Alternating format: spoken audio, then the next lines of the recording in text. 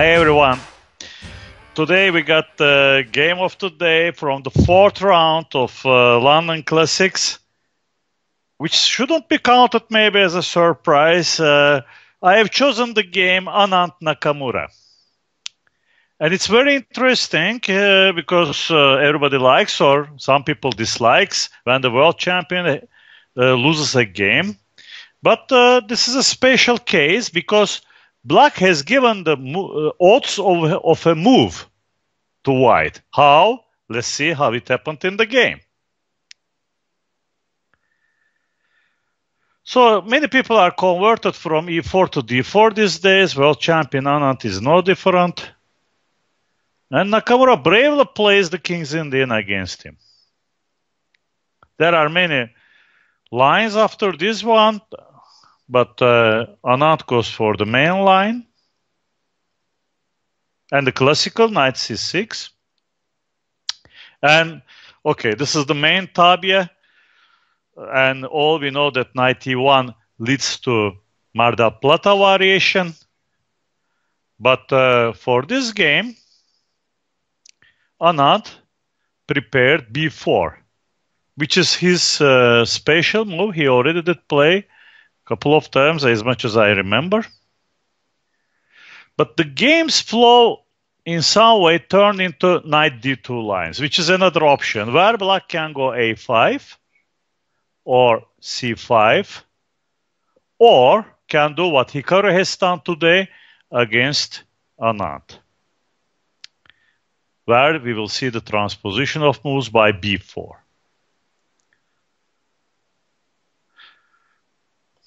So,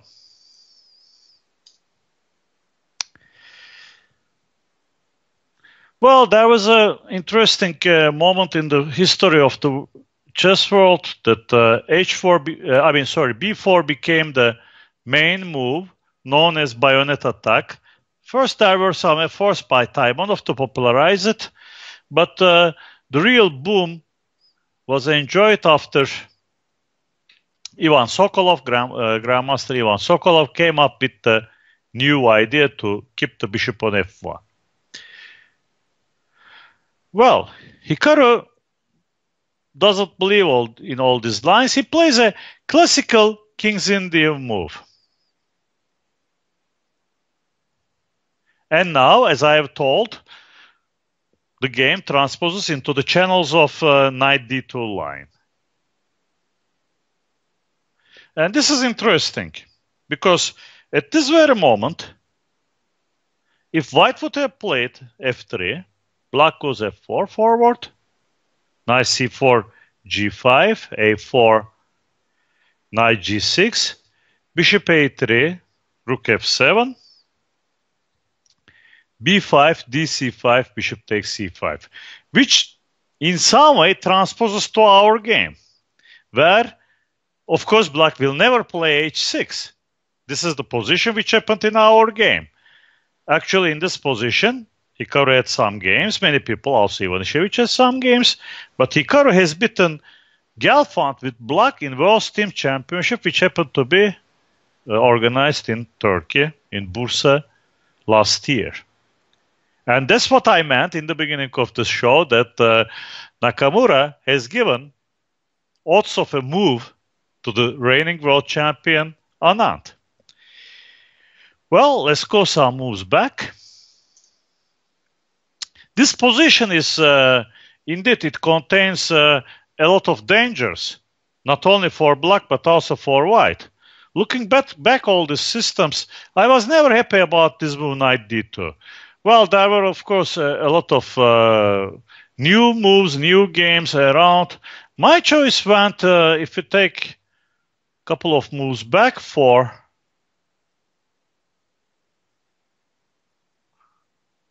this particular line, where I have beaten Grandmaster Ganguly in Greece in an open tournament, which I won uh, last year. And uh, still things were not uh, very clear. But okay, Anand was really very well prepared for this game. Basically, I assume on some performances of uh, Kramnik with the line, especially against Hikaru, he came up with the same idea, but of course he never pushed f3. So basically, white is waiting for black to close the center with f4 when his pawn still stands on f2. In this way, well, after f4, his bishop will control important squares. And actually, this has happened in the game Kramnik Nakamura from Khanty-Mansiysk Olympiad.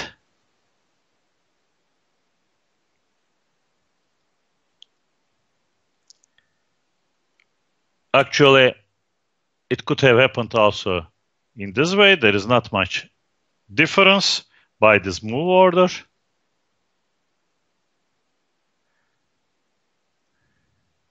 And after all this, black had problems with d6 and with g4.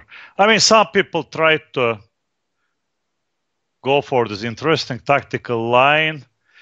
Well, uh, not Tigran Vartanovic Petrosyan, but the younger uh, Petrosyan, he tried. And uh, I believe white is clearly better here. So, what to do?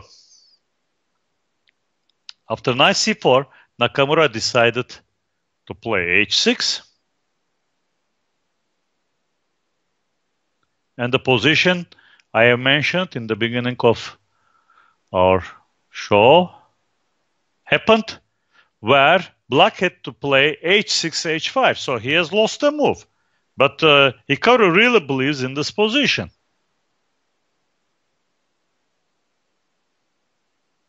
Okay, all these moves are very normal.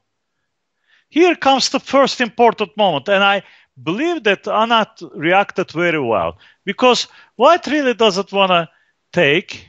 Rook takes a7, after which Rook b8 will happen. And uh, he wants rather to play knight c7 and b takes a7 in the appropriate moment.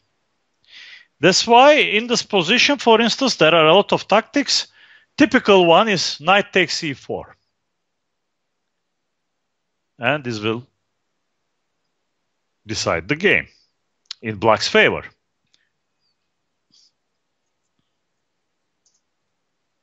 So in this line, also after rook a7, rook b8, we can always go king h1, bishop f8, once again, bishop takes f8 is a very bad mistake because of knight takes e4, the same kind of things.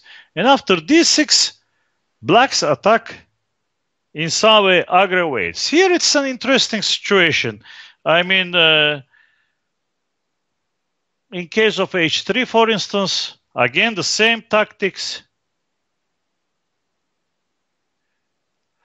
And uh, White really doesn't like this position. He wants to keep the black side fluid, where he can take, for instance, b takes a7, rook a7 and b6. Uh, no, this is not a glory for him in, on this part of the board. That's why I really like Anand's move. He doesn't rush the things. And now after d6, well, Hikaru had to lose another tempo. Most likely he really thought like h4 is not going anywhere.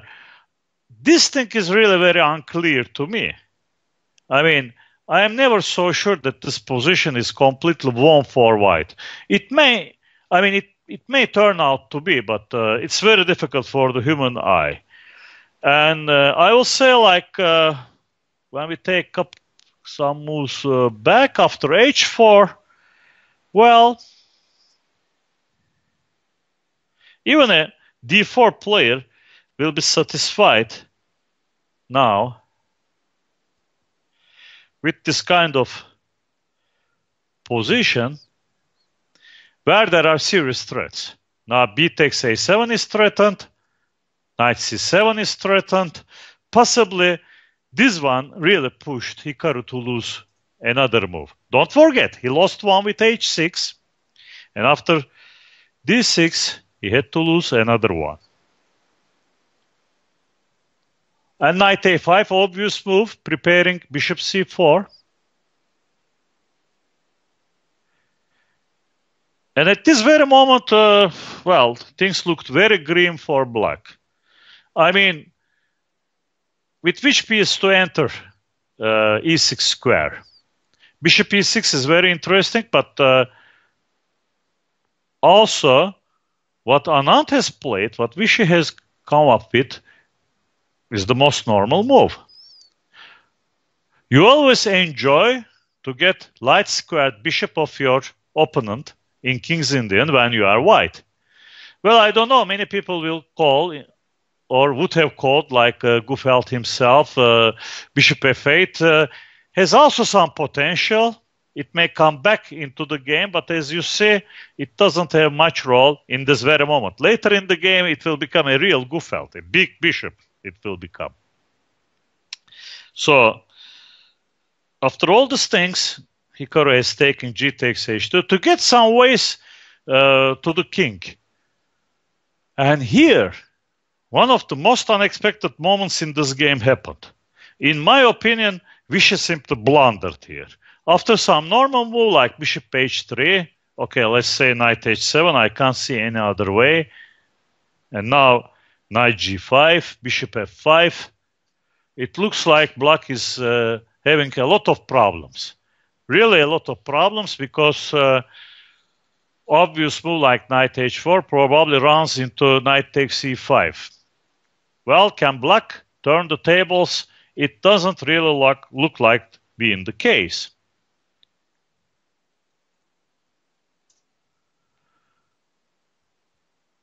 But came the blunder, and Nakamura played very important move, queen e8. Now is some interesting choice. Maybe really Anand had to bite his lips and try to confuse the issue with such moves, but I don't know. It really doesn't look impressive for white, but probably would have a better position compared to the game. Still, there are some, I don't know, there are some issues to be decided here. It's not completely gone. Now, he played a little bit materialistic he kept his uh, pawn. He, he, didn't sacrifice pawns like uh, we have looked at. He kept his, his pawns, but you see that the bishop is completely isolated from the defense of g2 pawn.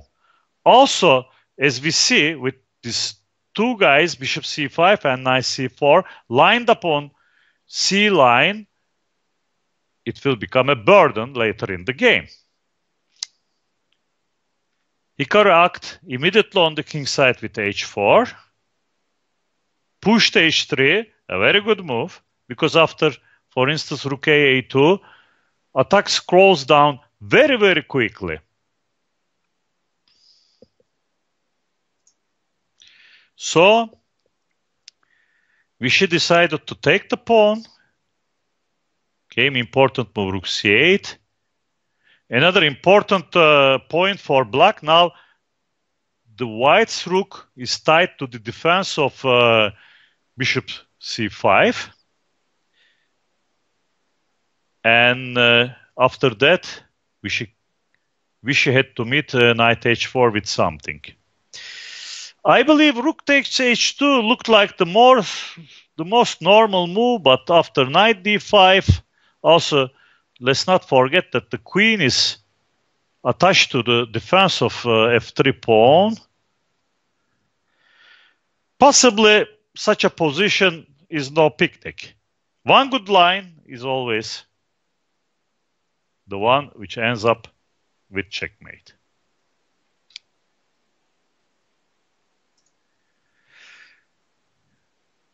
Now Vishy has taken h2 pawn by the king. And this is some position. I mean, many people expected most likely uh, to have something like uh, we mentioned in the other line, or even before Queen h5 uh, to come up with Rook g3 first, and then Queen h5. These are all really good lines, but I really like Hikaru's play now. He came up with something uh, really very definitive. He didn't toss around any of these moves. He came up with knight d7. And as you may notice, there is an incredible overload in black's pieces. Sorry, in white's pieces. Rook is tied to the defense of f3 pawn. The other rook as well. Queen is tied to the defense of h3 pawn. C line is always an issue, can really break everything. And here came the greatest move, most likely of this tournament, a5. The pawn, which can be taken by many different pieces. For instance, if bishop takes a5, sacrifices are really rolling over the board to the other side. And now a nice checkmate on h3 will happen. So another line is that even simpler that black doesn't have to sacrifice anything but to rook on c1. So under the circumstances, things are really grim for white. At the pull his bishop back. At least now the bishop has some defensive role. Came the exchange sacrifice. And now the bishop is going to the square c5, from where it will directly attack to one of the holders of critical square f3. Okay, so here, of course, rook takes c5 wouldn't change much. Vishy decided to protect the pawn, and Hikaru, he could even take on f2, but he first swept this pawn on b6 to make the issue even more clearer. What I mean, like, okay, bishop takes f2, bishop takes f2, knight takes f3, bishop takes f3, queen takes f3. You can't even make any threat against the vulnerable looking b7 pawn because knight comes to c5, tactical, and then takes on e4, it's game over. So comes this position where Hikaru takes first on b6, showing some real cold-blooded uh, reaction to the situation over the board. And then after some interesting moves, bishop d4, bishop d1. There is something to be said about this bishop d1. I mean, everybody expects maybe this one, but uh, in such situation, you see that the tactics are abundant. I mean, this is uh, really a sad case for white now. Now, what to do? F3 and respectively H3 are are going underway, and if you try to have some checks, Black's king has a safe haven on G5. And here, something similar happened. As one can see, nothing has changed. White is completely tied. I don't know how he can move, you know, like this is a this is really a nightmare for Vishy. So he went back rook b1, rook g6. Now he has taken, he could have taken one move before, it wouldn't change much. And after a couple of checks, he had to resign. So congratulations to Hikaru I mean, I had the opportunity to play with him in many American Opens. He was always a pleasant kid to me. And uh, this is a great day for him and uh, for American chess, but the co- tournament continues as usual. Have a good night. Bye.